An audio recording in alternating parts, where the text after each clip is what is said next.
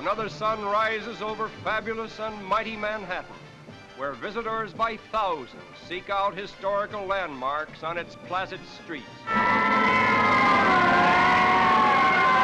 People from out of town love its many quaint and secluded eating places. The big city's well-known hospitality to its guests is famous the world over. And particularly sailors on leave find intellectual freedom in its many cultural points of interest. And as this is a story of New York, we naturally begin it in Brooklyn. New York, New York, a wonderful town. The Bronx is up and the Battery's down. The people ride in a hole in the ground.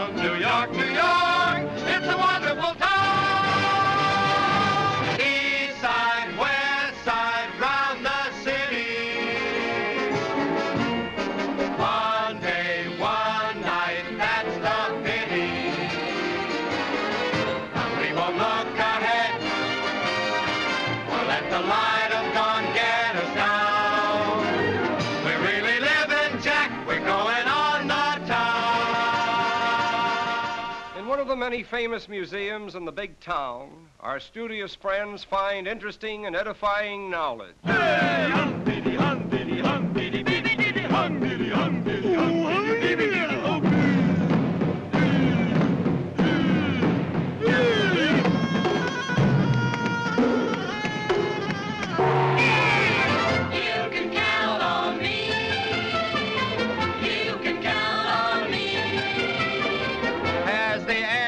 machine once said, you can count on me. Hmm.